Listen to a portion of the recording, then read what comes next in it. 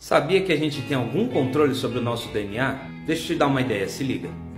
O código genético ele funciona como um catálogo ou um livro de receitas. Você tem que abrir e escolher lá dentro o que é que você quer. E olha só que oportunidade, a cada ano 90% das nossas células são renovadas. Isso quer dizer que a cada segundo que passa a gente pode vir modulando o DNA da célula através do estilo de vida.